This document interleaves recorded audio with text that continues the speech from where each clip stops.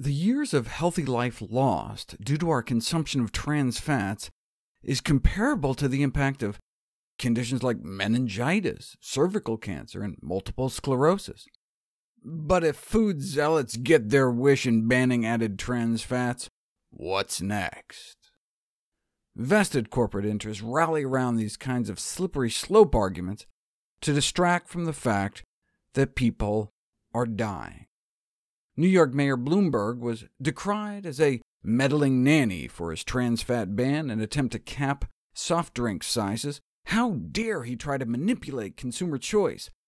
But isn't that what the industry's done?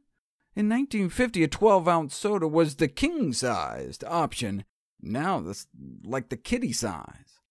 Similarly, with trans fats, it was the industry that limited our choice by putting trans fats in everything without even telling us. So who's the nanny now? New York City finally won its trans fat fight, preserving its status as a public health leader. For example, it took decades to achieve a national prohibition of lead paint, despite unequivocal evidence for harm. But New York led the way, banning it 18 years before federal action. There's irony in the slippery slope argument that first they came for your fries, next they'll come for your burger. After the trans fat oil ban, one of the only sources of trans fat left will be in the meat itself. Trans fat naturally exists in small amounts in the fat in meat and milk, as I've talked about before. Animal products only used to provide about a fifth of America's trans fat intake, but since the U.S. trans fat ban exempts animal products, they will soon take over as the leading source.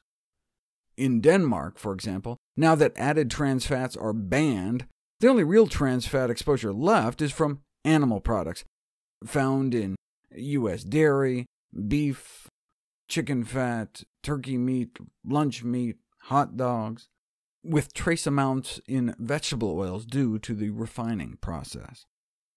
The question is, are animal trans fats as bad as processed food trans fats?